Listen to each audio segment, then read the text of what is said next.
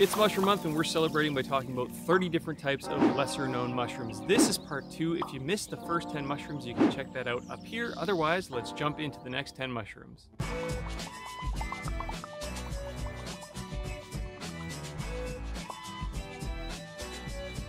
So first we have the birch polypore, otherwise known as Fomitopsis betulina. These mushrooms grow on birch, obviously, it's in the name, and they kind of look like this little UFO that's just stuck to the side of the tree.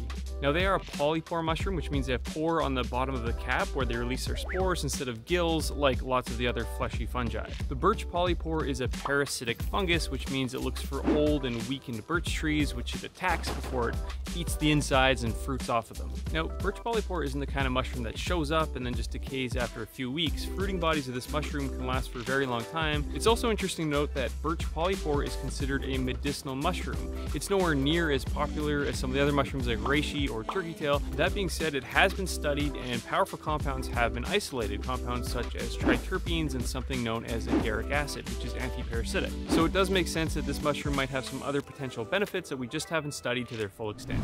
Next up is a mushroom that to the untrained eye looks like it's just another boring fungus, but it's actually super cool. It's called Fomes fomentarius, otherwise known as the tinder fungus. And no, it's not gonna help you with your next hookup. It's called the tinder fungus because when you break it open, you can pull some of the fluff out and it can actually be used as tinder to start a fire. Now, this mushroom is also known as the hoof fungus because it kind of looks like a horse's hoof. This mushroom is relatively common, and in fact in this forest it's absolutely everywhere, but it still has an interesting history. All the way back some 5,000 years ago, there was a man named Otzi who just happened to die in a really convenient location up in the Alps that preserved his body perfectly. And among his few possessions were this exact mushroom. He was also apparently carrying the birch polypore, so researchers theorized that he was using the birch polypore to treat stomach parasites, and he had the hoof fungus or the tinder fungus for starting fires. Next up is the hedgehog mushroom, or Hydnum repandum, and from the top it looks kind of like a boring, nondescript mushroom, but like a hedgehog, it has long spikes, which are located underneath the cap, and this is the part of the mushroom that releases its spores, and it has these spikes or teeth instead of gills or pores. There are a number of different species which have this feature, and many of them are also called hedgehog, which kind of shows the difficulty with common names. But again, the one that grows here is called Hydnum repandum and it's worth looking for because it is a choice edible mushroom if you can identify it. Hedgehogs grow in similar habitat to chanterelle mushrooms, and from the top they do kind of superficially look like chanterelles, so if you're looking for hedgehog mushrooms, go in kind of semi-open areas like this that are kind of covered in leaf litter, sometimes in pine needles, and see if you can find a hedgehog mushroom. They fruit later in the fall, but make sure you get there before the squirrels get there because they like to eat them too. Next up is a real showstopper. It's a mushroom that's super unique. It's known as the devil's tooth or Hydnellum peckii.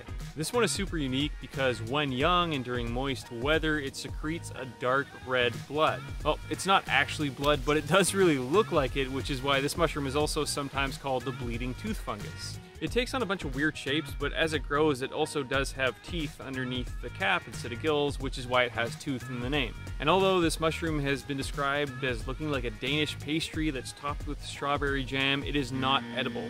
Not necessarily because it's poisonous, but more so just because apparently it tastes extremely bitter. If you want to see this mushroom, look late in the fall for trees that it grows with, specifically conifers like pine. By the way, if you like mushrooms, feel free to take a second and hit that like button. It really helps the channel grow. Plus, if you want to see more mushroom content, feel free to go ahead and hit subscribe, and we'll be putting out more mushroom videos. Take a second to imagine that you had harvested a beautiful looking mushroom from underneath an oak tree. You brought it home, you chopped it up, you threw it in your soup, and you ate it, and it was pretty tasty. But then six hours later, you start to feel a little bit queasy. That queasiness turns into a horrendous sickness where you're vomiting and have diarrhea and you've never felt sicker in your life. Until thankfully, you start to feel better. The next day, maybe you're kind of returning to normal and you think maybe that was just a weird episode and you're super glad that it's over. But a day later, it suddenly comes back with a fury, your liver and your kidneys shut down and you die.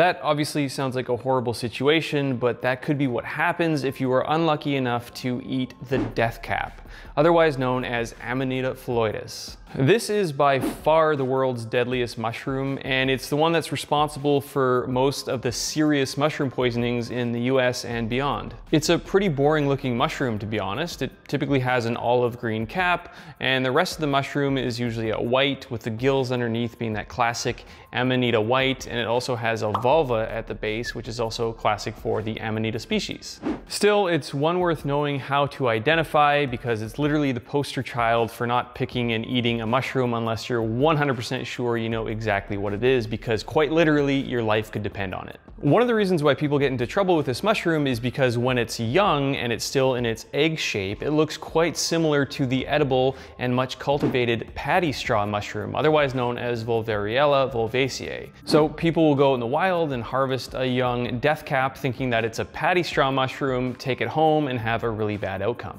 Now keep in mind that the death cap is an extreme case. I don't want to be fear mongering or causing any sort of mycophobia, but again, it's definitely one to look out for if you're going to be harvesting wild mushrooms.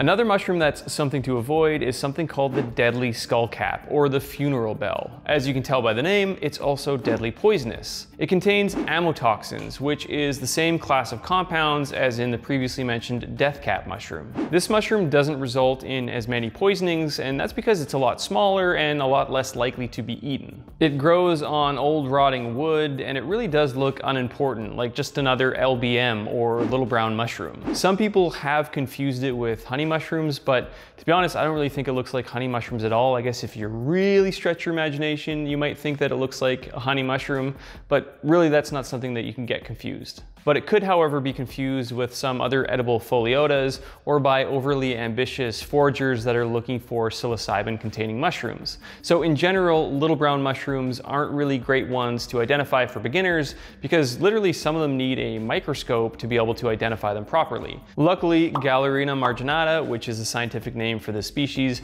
can be identified without a microscope. So if you are looking for some of these little brown mushrooms, this is a good one to be able to identify and of course avoid harvesting it and avoid eating it, but still doesn't mean it isn't cool to find in the woods. Okay, so this next one I'm gonna talk about is not technically a mushroom, but it often grows in a mushroom-esque manner and people often mistake it for fungus, which is why I wanna talk about it in this video.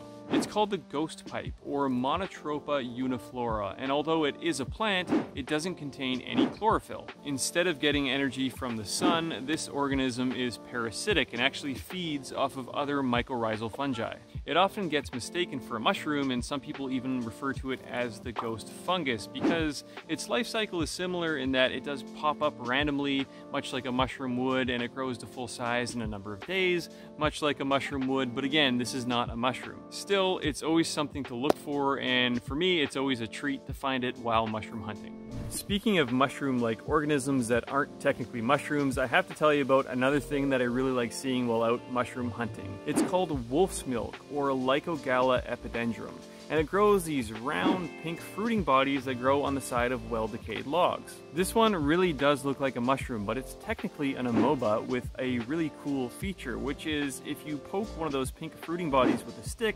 it'll actually burst with a pink goo that kind of looks like Pepto-Bismol.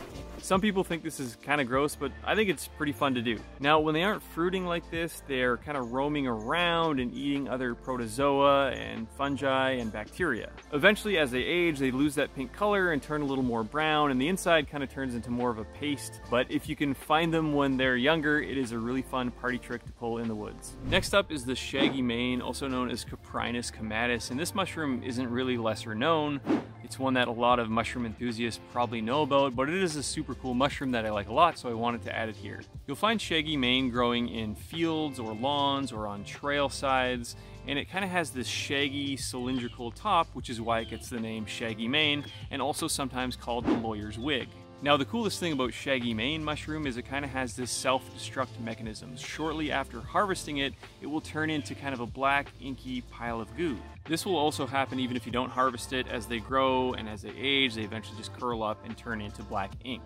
This is a process called deliquescing, and shaggy manes aren't the only ones that do this. There's other species of Coprinus that do this, but it's still pretty cool. Shaggy mane is a choice edible mushroom and it is easily cultivated, but because of this self-destruct mechanism, you're not likely to find it at the grocery store or even at the farmer's market because it needs to be cooked and consumed so close to harvest that it really just doesn't make sense. The only time you might see it at the grocery store is if it has been dried before being packaged, and I've seen this before at even large commercial farms where they do grow shaggy mane on synthetic logs and then dry them and package them and sell them at the grocery store. The other thing about shaggy mane that's interesting is that it was thought to contain coprine, which is a drug that kind of induces an instant hangover when combined with alcohol. This compound has actually been commercialized and has been used to treat alcoholism. So the common knowledge was that shaggy manes, although they are indeed edible, they're not to be enjoyed with a glass of wine. Although I've never experimented with this myself, apparently Coprinus comatus or shaggy mane does not actually contain coprine. This compound is only actually found in its close cousin, the common ink cap, also known as Coprinopsis atramentaria.